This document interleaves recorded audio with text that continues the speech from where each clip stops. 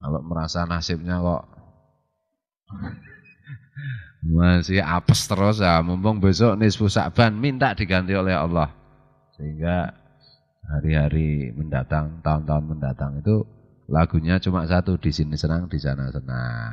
Anu nah, itu kan malam nisfu Sa'ban itu kan malam ketika kita boleh usul kepada Allah untuk mengubah perjanjian kita dengan Allah yang yang dinamakan takdir kehendak Allah itu, kodok dan kodar Allah itu. Nah, hanya malam nisfu Sa'ban itu kita manfaatkan untuk memohon kepada Allah perubahan nasib yang lebih baik lagi.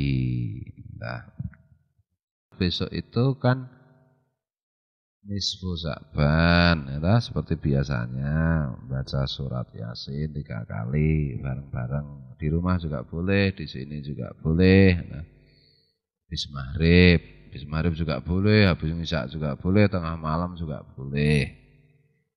Nah, biasanya kalau orang-orang dulu kan biar nggak lupa itu habis maghrib langsung baca Yasin tiga kali ya di buku tahlilan kan ada itu.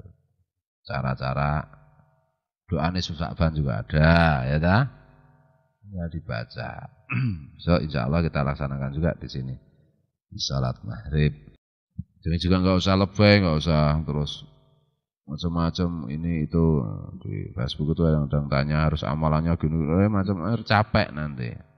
Ya memang di malam Yesus Sa'ban itu kita disunatkan untuk banyak beribadah. Tapi nggak usah lebay gitu loh.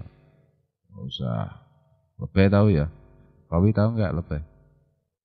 Oh, ya, lebay jangan-jangan berlebih-lebihan nanti malah repot. Oh, nanti kalau pas nih tahun saya habis maghrib baca yasin terus tiga kali terus berdoa terus ini bisa saya akan begini habis sampai jam 9 jam 9 saya akan begini. Oh, walah. Dua hari sebelumnya saya mau puasa, mau pas malam sim, uh, nisfu Sa'ban karena kebanyakan puasa malah kelaparan, ada buka puasa Kebanyakan perutnya sakit malah nggak melaksanakan apa-apa, perjanjiannya tetap buruk. Nggak usah berlebih-lebihan, santai aja. Santai aja.